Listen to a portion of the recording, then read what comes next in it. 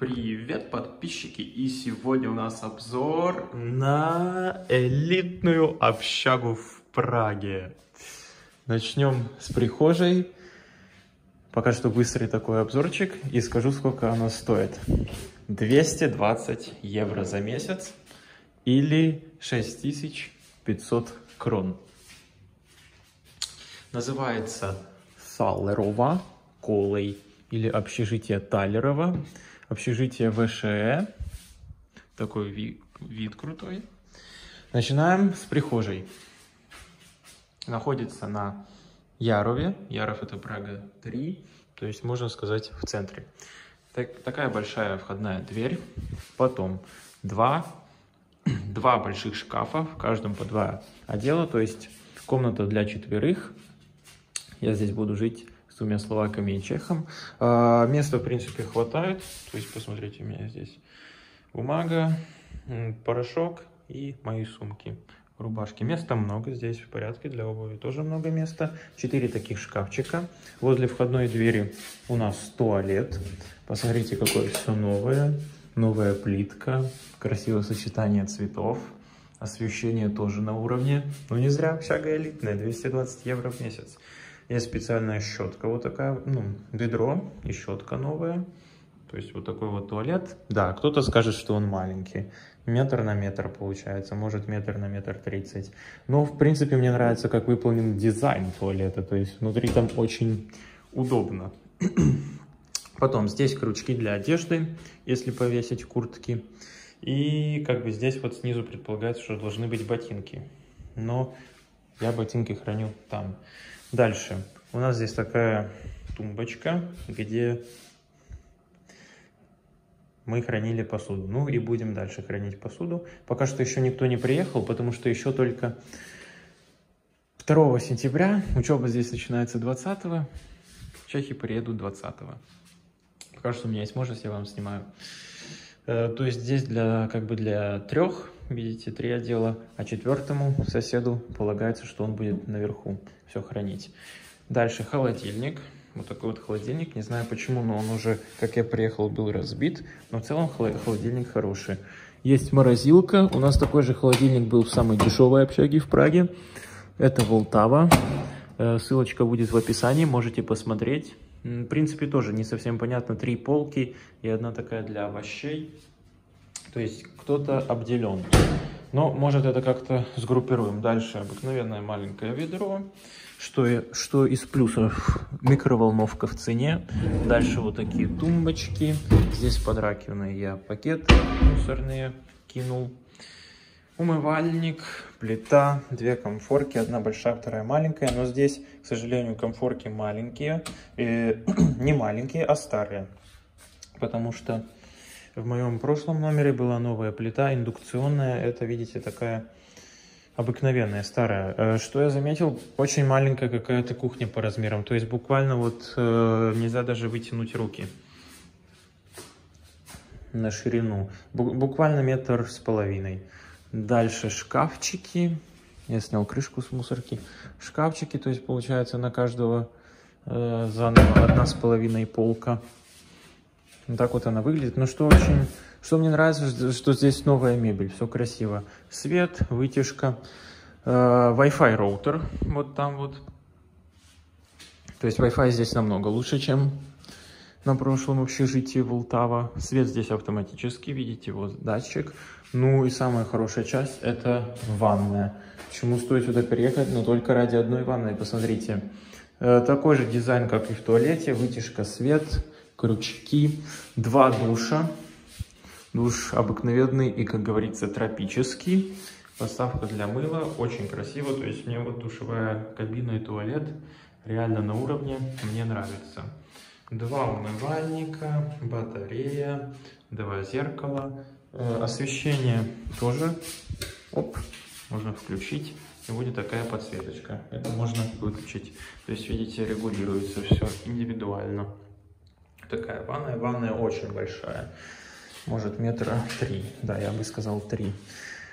А, какое отличие еще от моего прошлого номера? То, что здесь плитка, а здесь ламинат. Ну что, сейчас зайдем в номер. В номер ведет такая дверь деревянная. Здесь подключ... это подключение для быстрого интернета, если Wi-Fi кому-то не хватает. Это вот моя постель, я уже обустроился. Возле постели шкафчик. Э, шкафчик получается на двоих, но я себе занял верхнюю полку. Как говорится, кто первый, кто быстрее пришел, тот нашел. Здесь я еще еду разложил, чай, чтобы было быстрее. А дальше на стенах две полки. Это вот мои. Сосед мой еще не приехал. Здесь все пусто. Так вот, вот так вот выглядело, когда я заселился. Все. То есть две полки, места хватает, вещи можно разложить. Вот это реально плюс. Под кроватью. Под кроватью тоже. Оп, открою вам. Под кроватью тоже две полки. Там, там подвижные. То есть местом проблем нет. Можно все сложить. Кровать очень мягкая, намного лучше, чем на Волтаве. Очень мягкий матрас. Она широкая, может метр десять каких и длинная. То есть если там я спал, то там было как на какой-то, можно сказать, доске. Здесь реально комфортно. Сколько? Два метра, может даже больше кровать. А потом стол такой рабочий. Новый стул, замечу, вот такой приятный. Здесь, опять же, две полочки, там тетрадки, компьютер. Ну и это для одежды. Три полки. Здесь у меня полотенце и все такое. Там для грязных вещей. Ну и самое крутое, это, конечно же, вид на центр в Праге. Выходим на балкон и наслаждаемся. Сейчас 5 часов.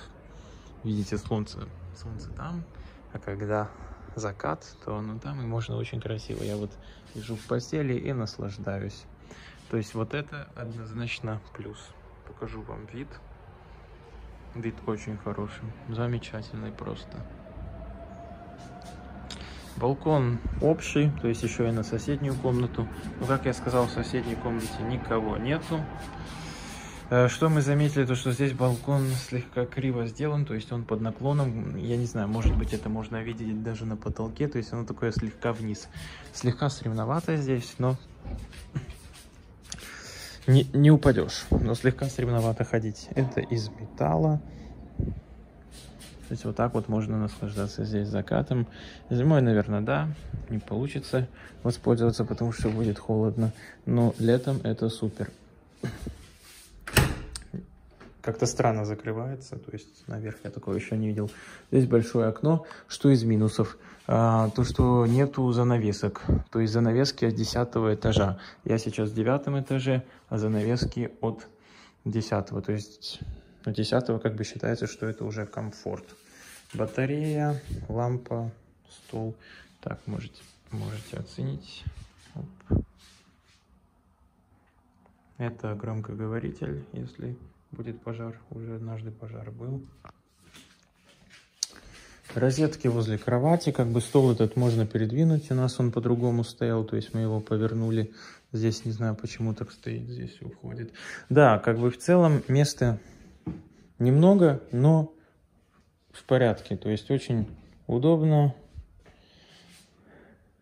И все новое. Это вот самое главное. То есть я бы сказал, что это вообще как в отеле. Покажу вам еще комнату соседей.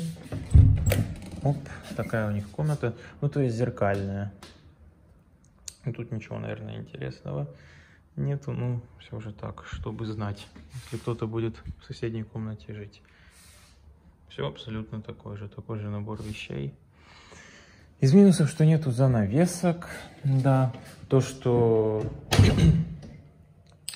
не знаю, кто как привык, но кому-то кто-то может сказать, что ну маленькое все, то, что кухня маленькая.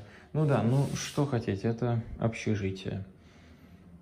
Конечно, общежитие может дорогое, да, по сравнению с Россией за 220 евро в месяц, но как бы в Праге дешевле, мне кажется, вы ничего за такие условия не найдете. То есть в целом я как говорится, удовлетворен. Не знаю, кто-то размазал, видите, там на стекле.